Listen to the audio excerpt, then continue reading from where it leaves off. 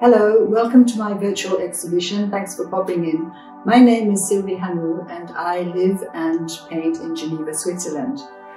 I was born in New Zealand and I grew up there with uh, French and Swiss parents. I think that this uh, cultural melting pot has definitely influenced my minimalist approach to geometric abstraction.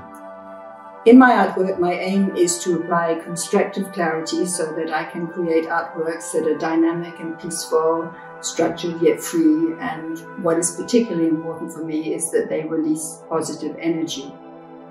I have a lot of fun playing with geometrical forms with, and particularly color and to find fascinating combinations that will have a standalone personality. In many ways, what is important for me is the complexity of simplicity.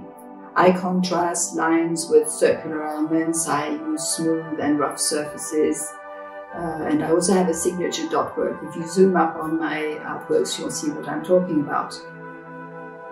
In terms of medium, I work with acrylics on canvas, and I, for the smaller compositions, I use canvas coated wood. I also use a thick modeling paste for the textured parts. My inspiration comes from anywhere and everywhere. Uh, any detail can trigger my imagination that I reinvent.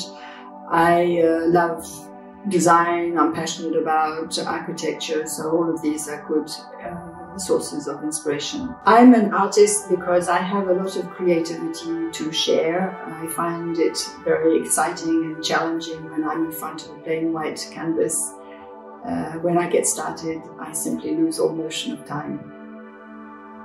Thanks for calling in.